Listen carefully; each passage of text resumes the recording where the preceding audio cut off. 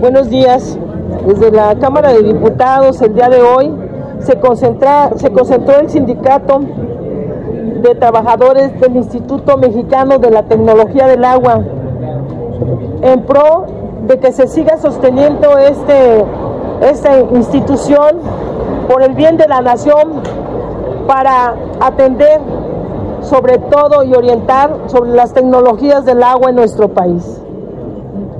Hay una iniciativa que han tratado de hostigar, intimidando con la desaparición, cosa que es totalmente negativo. la cuarta transformación está por el bien de los mexicanos y por el bien de los institutos que con sus tecnologías avanzamos para lograr, en este caso, el vital líquido que llegue a quienes más lo necesitan. Se encuentra con nosotros el secretario general de este sindicato, Jorge Humberto Salgado, aquí con nosotros. También se encuentra el secretario de Relaciones del Exterior, Rafael Espinosa Mendoza. Nos reunimos el día de hoy con el coordinador Ignacio Mier y que atendió cada una de las demandas y preguntas de este sindicato. Le voy a ceder la palabra al secretario general y al secretario del Exterior y su servidora Rosario Merlín, de diputada federal del Estado de Guerrero. Estamos con muchos diputados en aval por defender a esta institución. Adelante. Muchas gracias, diputada. Buenas tardes. Agradezco a los medios la atención de seguir nuestro problema de cerca. Sí, efectivamente, acabamos de tener una, una reunión con el, diputado Ignacio Mier. Es el presidente del grupo parlamentario de Morena. Él nos dio la certeza de que esta iniciativa pues no está en la agenda del día de hoy. Sí, tienen muchas agendas, su agenda está llena, tienen muchos temas que desahogar, sin embargo esto, esta iniciativa no está en la agenda del día de hoy.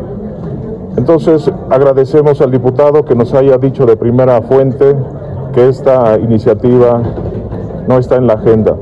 Sin embargo, el compromiso fue establecer una interlocución con la diputada Rosario Merlín, quien me precedió, y bueno, bueno, con ella vamos a tener interlocución y vamos a seguir teniendo eh, eh, información de cerca, de primera mano, en cómo va a ir, avanzando esta iniciativa, pero por el, por, por el momento esta iniciativa no está en la agenda del día de hoy. Muchas gracias. Buenas tardes. Complementando lo que dice mi secretario general, quiero señalar que el diputado Ignacio Mier, presidente de la Junta de Coordinación Política, bien ha mencionado la importancia estratégica que tiene el Instituto Mexicano de Tecnología del Agua. Más ahora que viene una nueva ley general de aguas, que como ustedes saben el cuarto constitucional manda a esta Cámara de Diputados para lograr el derecho humano al agua. En ese sentido, en esta iniciativa deben dejar fuera al IMTA. El IMTA debe permanecer como un organismo público descentralizado, con personalidad jurídica e ingresos propios, tal como está. Y eso es por el beneficio de todos los mexicanos. El IMTA, referente latinoamericano, necesita precisamente, más que extinguirlo, un reforzamiento. ¿Cómo? Con mayor presupuesto. Y esto podremos entonces decir nosotros, los investigadores, que ratificamos con el presidente de la República la cuarta transformación y en este sentido en el sector hídrico, que es nuestra materia de trabajo. Agradecemos la confianza, el conocimiento de diputadas y diputados como la diputada Merlí, el diputado Jorge Armando Ortiz, la diputada Magdalena Núñez, la diputada María Eugenia Hernández Pérez, todos ellos han visitado al IMTA, la diputada, diputada Shirley Vázquez, Tania Valentina. y muchos otros diputados que han constatado de viva voz que en el Instituto Mexicano de Tecnología del Agua se encuentra la infraestructura y los recursos humanos altamente calificados para que logremos el uso sostenible del agua y garantizar este recurso a la población más vulnerable, a nuestros pueblos originarios.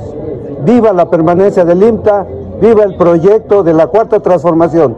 Estamos juntos y vamos adelante. Gracias. Queremos decirles, agradecerles, pero además que este Instituto Mexicano de la Tecnología del Agua, en momentos de las más álgidas contingencias de nuestro país, han estado ahí para dar solución de inmediata a esos problemas de, las, de los ciclones que ha habido, temblores, donde se requiere, ahí están.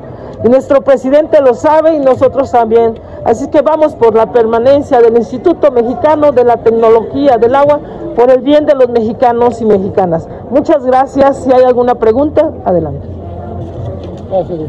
Si no, les agradecemos. Muy buen día a todos.